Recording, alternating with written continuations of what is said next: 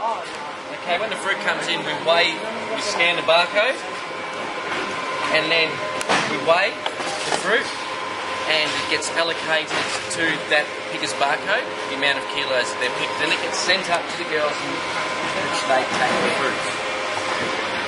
We know who's packed the fruit because their number is on the box. So they're allocated a set amount of boxes and get paid for. Simple as that. Cool, no worries. How, how do you check for quality on both? Quality control. Once it's packed, the fruit comes down there and it's checked before it's palletized and refrigerated. Cool. And um, so you've got quality control here. Do you have quality control at this station as well? Yes, as we're weighing it, the fruit is checked for quality, and if there seems to be on a visual too much waste, that fruit is then put aside and rechecked. Cool, no worries.